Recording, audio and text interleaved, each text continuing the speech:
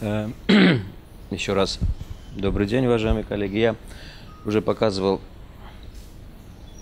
я уже показывал похожую статистику. Речь идет о саркомах мягких тканей, э, о достаточно редкой и маленькой группе больных. Всего э, в год в нашей стране регистрируется около трех, трех с половиной тысяч пациентов с саркомами мягких тканей. Э, этот слайд также показывал. И в отличие от глобальных проблем онкоортопедии, тут речь пойдет исключительно о лечении этой маленькой орфанной редкой группы больных с большущими проблемами в виде упорного частого рецидивирования и необходимости выполнения радикальных, э, каким считаются хирургического вмешательства, радикальных областичных вмешательств. Если взять э, этапы лечения, то тут достаточно четко показано, что внедрение э, в практику лекарственной терапии резко позволило увеличить выживаемость от 10% в течение всего 50 лет дойти до 75%. Э, Все это было бы невозможно, если бы не было бы в нашем арсенале вот той маленькой группы химиопрепаратов, о которых уже говорил Александр Александрович Феденко. Представляете, какие результаты будут, если будут новые лекарства с новыми механизмами действия. Если взять общие результаты лечения, то они достаточно плохие. Но в верхней части слайда показаны э, результаты, я не знаю, результаты лечения в общей онкологической сети. Болезнь э, саркома мягких тканей упорно метастазирует, часто рецидивирует. Э, пятилетняя выживаемость находится на уровне 60%. Однако такое нельзя сказать в той группе больных, которые получают лечение в специализированных онкоортопедических клиниках. Тут совсем другие результаты, э, которые представлены, представлены ниже. Э, говоря о хирургическом лечении и о значении и об определении радикального хирургического вмешательства, необходимо понимать, что есть некоторые технические проблемы, э, которые хирург должен однозначно знать это ну, не проблема, а техническое решение. Решение номер один – это МРТ. МРТ в руках диагноста является своеобразным э, рычагом, когда описывается опухоль. Э, очень подробно, досконально. МРТ в руках хирурга является прединструментом до того, как зайти в операционный зал, методом определения объема хирургического вмешательства. Начиная от визуализации, дальше у меня будут примеры, заканчивая определением краев э, и резекцией и определением тех структур, которые должны уйти в едином блоке с удаляемым препаратом. Современные МРТ-исследования с контрастным усилением, с изменением э, э, степени э, накопления и кривых выведения контраста и кровотока в опухоли – и в неопухоли могут достаточно четко показать те границы и те края. Они для диагноста служат методом определить, это рубец или доброкачественная опухоль. Это э, саркома, саркома после э, лечения с эпатоморфозом или без. А у хирурга все эти методики Э, имеют только цель одну – определить те края, те зоны, которые подлежат удалению во время хирургического вмешательства. И все варианты магнитно-резонансной томографии, динамическое контрастирование, диффузно взвешенное МРТ, э, трехфазная синтиграфия, они широко используются именно, именно хирургом, именно в клинике, именно в предоперационном этапе. Тут показаны справа различные кривые, которые говорят о эффекте лечения. Это очень хорошо, но однозначно эти кривые показывают еще и те зоны, где э, есть активная опухолевая ткань, и те зоны, которые, где есть э, пограничная э, между рубцовыми измен, изменениями и э, здоровой тканью, здоровой мышцы. Говоря о хирургическом лечении, надо понимать, что оно начинается с биопсии – Биопсия имеет очень важное значение для установки диагноза, определения тактики лечения и всего, э, и очень сильно влияет на всю последующую судьбу пациента. Э, с хирургической точки зрения биопсия очень важный момент. Э, необходимо понимать, как и каким доступом будет последующая операция. Биопсия может быть толстоигольная, это пункционная биопсия. Биопсия, биопсия может быть ну, тут преимущества и недостатки, малоинвазивный, малоинвазивный метод, э, в хороших руках с ультразвуковым контролем позволяет забирать именно те столбики ткани, которые являются наиболее живыми, и получить ответ, имея хорошего гистолога на малом материале.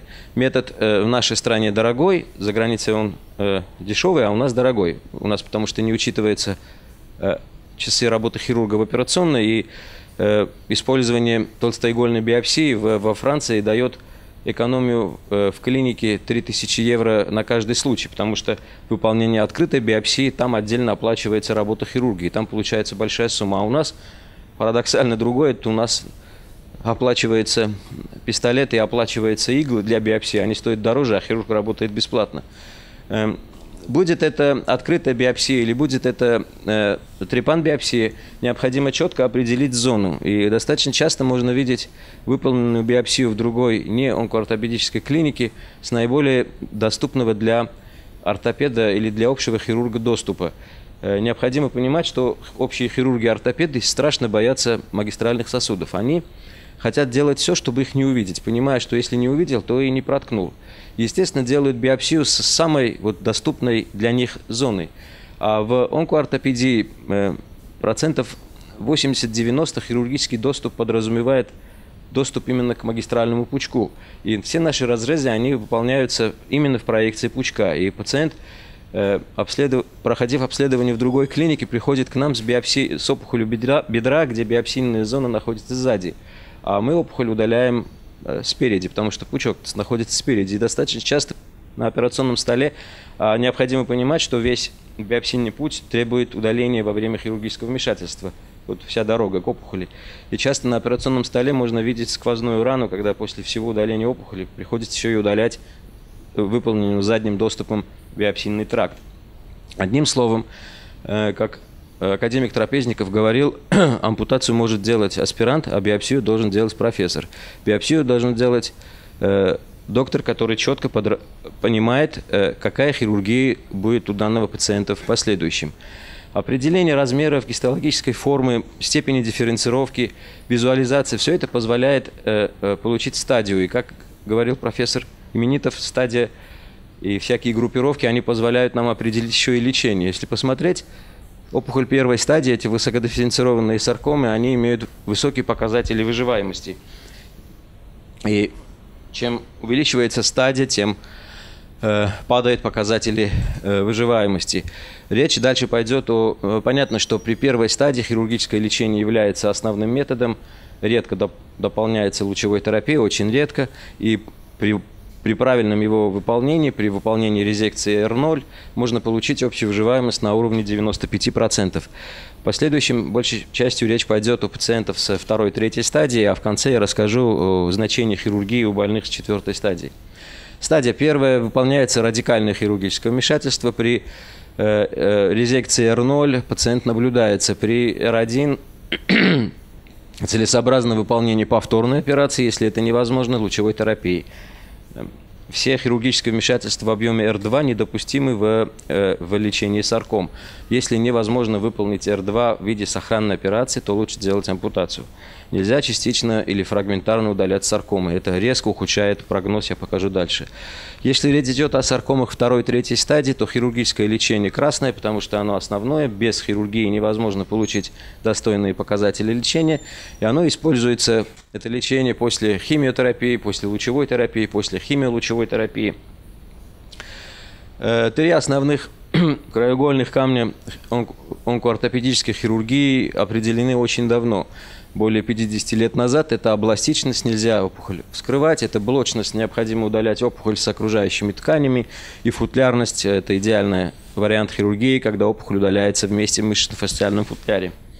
Дальше я попробую, ну, тут показано, как это все выглядит схематично. Э, краевая, блочная и э, фасциально-футлярная. Удаляется весь мышечный футляр вместе с опухолью. Эм, что значит край резекции, насколько необходимо отступать от видимых краев? На данном слайде показаны публикации, она достаточно старая, но вы должны понимать, что все хирургические публикации, они не так часто освежаются. Э, в отличие от химиотерапевтической науки, хирургии за исключением каких-то новых приборов, приспособлений, в основном хирургия достаточно консервативная сама по себе. И вот на дан, в данной публикации достаточно четко показано, что отступая от видимых границ опухолей от 1 до 4 сантиметров является неким э, гарантом, что можно получить э, э, резекцию R0. Выбирая вот эти границы, сантиметр, 2, 3, 4, необходимо понимать, что некие анатомические образования являются естественными границами, которые не позволяют распространяться опухолю в начальных ее этапах развития вот именно в этом направлении. Это поэтому саркомы часто всего, чаще всего если это не громадные местно распространенные процессы, имеют веретенообразную форму. Они растут вдоль, э, доходят до надкостницы, доходят до сухожильного конца, доходят до фасции, и в начальных своих этапах развития они не прорастают ни надкостницу, ни фасцию, ни сухожильный конец, а растут вдоль. И э, эти анатомические структуры могут являться границей э, иссечения это я говорю о том, если опухоль находится близко к лонной кости или близко к бедренной кости, это не значит, что необходимо отмерить 4 сантиметра и удалять выше, резицировать лонную кость или удалять большой фрагмент бедренной кости, как было в свое время с меланомой. Э, мышечная фасция, адвентиция сосуда, эпиневрии и надкостница являются анатомическими барьерами. И э, полная их мобилизация и включение в препарат является одним из основных принципов э, получения э, радикального хирургического вмешательства в объеме R0. Вот то, что я говорил, э, не видеть сосуд, наоборот, необходимо выделить сосуд полностью на всем протяжении в зоны поражения и удалять адвентицию. Необходимо удалять эпиневрий, если это находится в зоне поражения, является тесно прилежит к задней поверхности опухоли, к примеру, седалищный нерв, необходимо убрать весь эпиневрий. Все опухоли, расположенные на нижней конечности, не все, а подавляющее большинство, они расположены и поражают медиальный мышечно-фасциальный футляр э, задней стенкой, которой чаще всего является сосудистый пучок и требует ее полной мобилизации и удаления адвентиции с бедренной артерии. Э, край резекции – это есть решающий фактор прогноза заболевания. R0 нет остаточной микроскопической опухоли, это э, параметр микроскопический. R1 есть микроскопические опухолевые клетки, и R2 это макроскопический остаточная опухоль, недопустимая в практике. Тут ну, для больше для наглядной демонстрации показан препарат. Э, это удаленная опухоль из оболочек периферических нервов, даже виден нерв, который резицирован. На первый взгляд достаточно радикальное хирургическое вмешательство, нигде не нарушенная областичность, опухоль не вскрыта, удалена, в принципе, в, в окружающих, с окружающими тканями.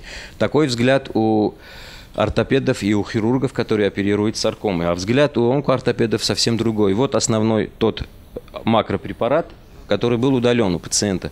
Для наглядности я для демонстрации сделал тот вариант, который удаляют э, хирурги, вот так. А опухоль необходимо удалять именно вот так. Нигде здесь не, не видно э, опухолевой капсулы. То есть во время работы хирурга хирург никогда не трогает опухоль. Он режет, коагулирует, прошивает, выделяет только здоровые ткани. Нигде ни на одном этапе в ране не появляется опухоль его псевдокапсулы, и тем более еще и если ее вскрывают. Э, получение э, подробного патологоанатомического э, заключения подразумевает четкую маркировку краев. Есть, есть случаи, когда невозможно выполнить, конечно, хирургию R0. Есть случаи, когда хирургия R1 требует не повторного вмешательства, а лучевой терапии. Чтобы понять, какая зона и где есть микроскопические опухолевые клетки по краю, необходимо четко маркировать опухолевый препарат, удаленный препарат, краской, нитками, э, чем-то, э, медиальный, наружный, передний, задний. Тут показана возможность маркировки в нашей клинике, и гистолог уже знает черной краской, ниткой маркированные передние, задние, и в ответе уже звучит опухолевый узел, и идут перечисление краев и на каком расстоянии, на сколько сантиметров есть опухолевые, опухолевые клетки. Заключение гистолога из нашей лаборатории занимает целый А4 формат, иногда А4 и еще половину э, второй же бумажки. Э, в отличие от других заключений, за 25 лет видел очень много, когда пишется один абзац. Саркома иногда G. G. Э, локальный рецидив очень сильно зависит от наличия опухолевых клеток по краю резекции. Это большой многофакторный анализ, проведенный на основании данных нескольких клиник, где было показано, что наличие клеток является фактором, доказанным, влияющим на локальный рецидив. Это тот случай, когда хирург, э, ортопед, оперируя пациента, говорит, вы знаете, если даже у вас будет рецидив, то всегда есть вариант его вылечить. Ну, максимальный вариант, допустим, ампутации. Мы можем облучить, можем повторно оперировать, но в худшем случае можем вам выполнить ампутацию. Мы и так победим болезнь. Однако это очень ошибочное мнение, потому что локальный Э, и часто, чаще всего и хирурги, и ортопеды и говорят, операцию провели радикально, необходимо облучать. Наличие микроскопических опухолевых клеток по краю резекции – независимый фактор локального рецидива. Частота рецидивов после радикальных операций около 12%. Этот процент сильно варьирует в разных клиниках. А если есть микроскопические опухолевые клетки, край, по краю резекции частота рецидивов увеличивается 4 раза до половины больных. Тут показаны четыре больших исследования, где включены 300, 1900, 600 пациентов, и где изучалось влияние именно края микроскопического э, опухоли на частоту э, локальных рецидивов и на пятилетнюю безрецидивную выживаемость, учитывая край и учитывая и общую выживаемость. Четко показано увеличение частоты рецидивов 2-3 раза – если хирургическое вмешательство выполнено в объеме R1. Э, поэтому требует данное вмешательство требует повторного хирургического вмешательства, э, реиссечения, расширения объемов вплоть до калечащей операции. Использование лучевой терапии. в нашей стране, да и не только в нашей стране, достаточно часто используется тактика проведения хирургического вмешательства и лучевой терапии всем пациентам – на данном слайде показано три исследования, тоже с включением больших количеств пациентов, 1700-5000, где показано, что рутинное назначение всем больным после операционной лучевой терапии не меняет частоту э, э, локальных рецидивов. Лучевая терапия может играть большую роль, если она используется системно, начинается в предоперационном периоде как этап лечения и имеет логическое продолжение и после. А всеобщее назначение лучевой терапии не приводит к улучшению. И отсутствие различий в общей безрецидивной и безметастатической выживаемости послеоперационная лучевая терапия показана, на наш взгляд, только в тех случаях, когда есть микроскопический положительный край. 70% больных направляются в специализированные онкоортопедические клиники с рецидивами. Это э, проблема радикальности выполненного хирургического вмешательства. 50% на этот момент имеют третий, четвертый и пятый рецидив, не первый, второй. 80 вот из этой группы уже получили лучевую терапию, стандартно назначенную в дозах до 60 грей. И на разных этапах э, лечения уже проведены многочисленные курсы химиотерапии. Это та ситуация, с которыми мы постоянно сталкиваемся. Лет э, 15-20 назад огромное количество, подавляющее количество больных в, в нашей клинике и в тех клиниках, где профессионально занимаются лечением сарком, были первичные больные. Сейчас, к сожалению, мы не видим первичных больных. Их, э, это очень редко. Основная категория пациентов вот представлена на слайдах. Третий, четвертый рецидив, лучевая терапия, когда хирург, онколог честно говорит, я для вас сделал все, что я мог. Поверьте, я вот больше не могу. Теперь вам надо ехать в другую клинику это не всегда честно. Эм. Вот э, самое основное. Наличие локального рецидива является фактором, э, увеличивающим процент отдаленных метастазов.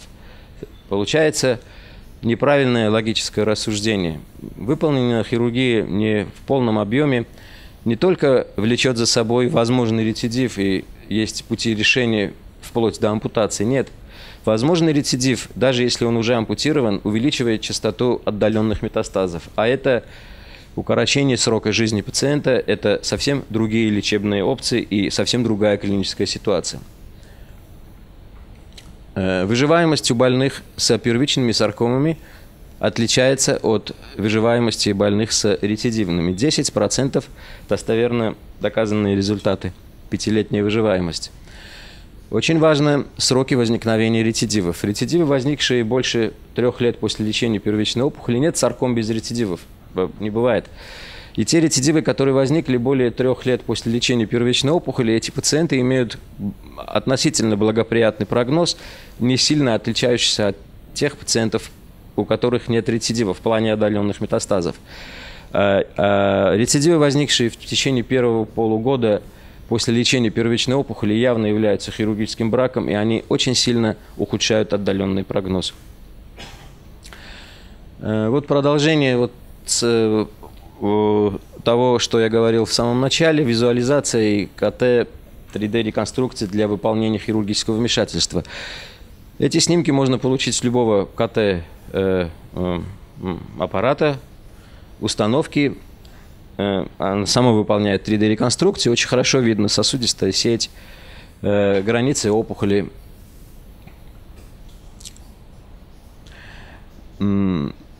Сарком очень много, и они локализуются, я уже говорил во время утреннего э, доклада. Э, 70% сарком локализуется на конечностях. Природа создала наши конечности так, что там уже имеются естественные анатомические зоны. Это снимок из анатомического атласа. Есть футляры – есть определенные четко ограниченные фасциями зоны, где входят две мышцы, три мышцы, четыре, пять, неважно, этих футляров на разных уровнях конечностей, э, на разных э, поверхностях конечности разные, на бедре в переднем заднем идеальный, на предплечье, на голени. Э, создав мышечно-фасциальные футляры, природа дала нам возможность выполнять хирургическое вмешательство для, с целью получения R0 путем удаления целого мышечно-фасциального футляра. Это больше, большое значение имеет при лечении первичных сарком, когда чаще всего процесс локализован в, в одном футляре. Э, и о тех больных, которые, к сожалению, редко сейчас попадают в специализированные клиники. Рецидивные саркомы нарушают все эти футляры. Там после хирурга, после вмешательства и после роста Э, опухоли уже с нарушенными границами футляра нет четкой такой зональности и футлярности. Использование компьютерной техники э, в минимальном своем виде хирургом позволяет в предоперационном периоде определить зону и футляр, который должен быть иссечен. Э, передний фасциальный футляр бедра, опухоль удалена, это плеоморфная саркома, в тех четких границах, о которых шла речь перед операцией. Э, медиальный футляр, тут оголены э, э, удален медиальный футляр, плеоморфная саркома и оголен полностью сосудистый пучок, о который, об этапе, который я говорил.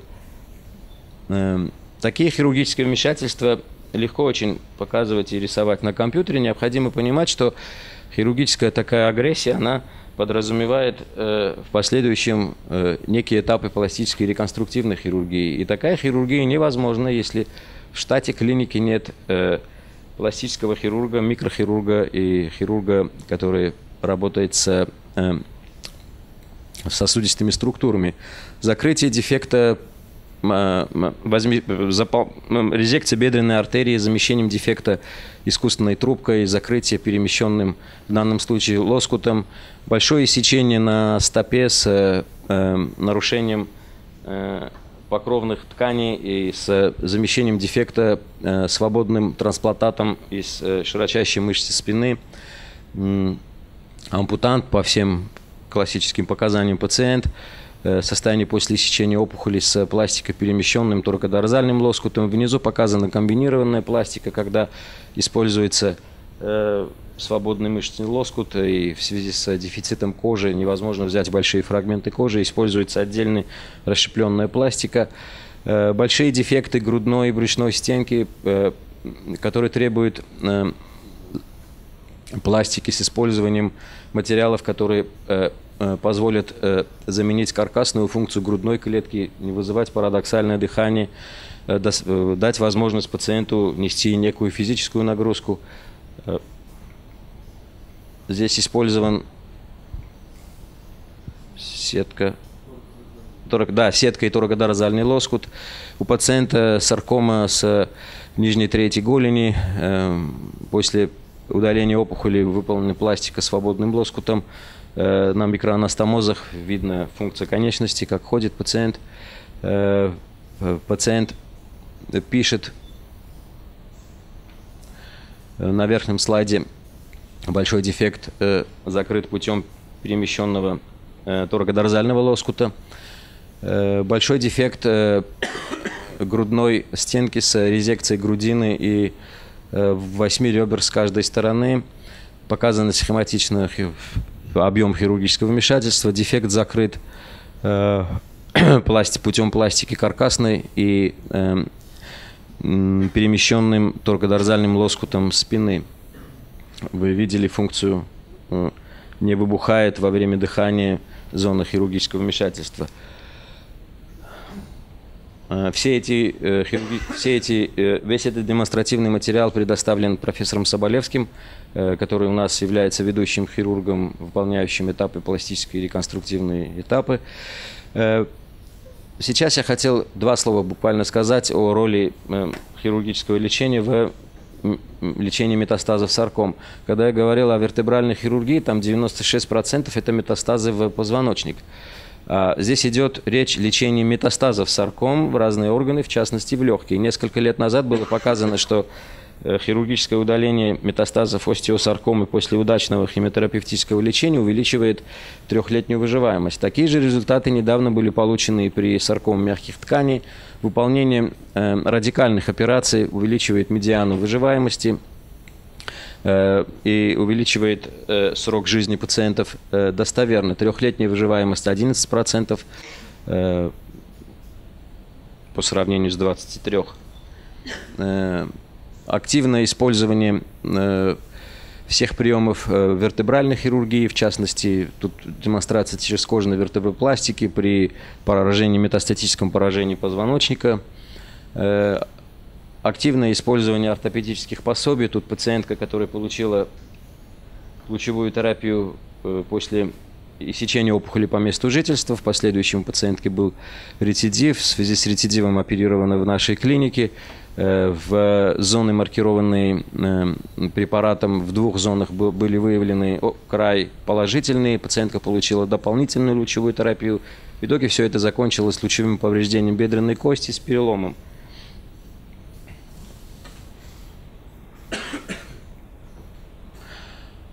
Ну, я думаю, что это не сильно относится к хирургическому лечению. Тут на самом деле речь идет о локальной гипертермии и о ее роли в э, лечении сарком. Ну, я просто покажу демонстративный материал. Светоклеточная саркома, опухоль изначально нечувствительная к, к, к химиотерапии, использование локальной гипертермии на, с, в комбинации с химиотерапией позволило получить выраженный эффект, который показан на снимках э, МРТ, и, э, на КТ и ПЭТ-КТ. Э, интраоперационная лучевая терапия, которая позволяет решать многие задачи, связанные с теми пациентами, которые ранее получали лучевую терапию, повторная лучевая терапия невозможна, а хирург во время самого вмешательства те зоны, которые Э, ему лично кажутся опасными на предмет последующего рецидива, может проводить лучевую терапию в самом операционном зале. Э, перфузии, вы слышали доклад, и следующий будет доклад Георгия Ивановича. И также всех приглашаю на очередную конференцию по саркомам в Томске. Спасибо. Спасибо, Артур Юрьевич.